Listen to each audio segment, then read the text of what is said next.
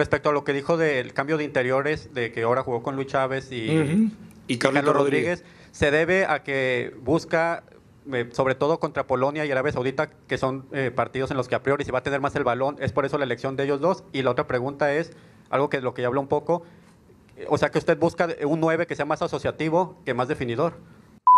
Tan- Demoré cuatro años en que alguien me haga una pregunta de esta naturaleza. Así que te agradezco y todo lo que dijiste es tal cual.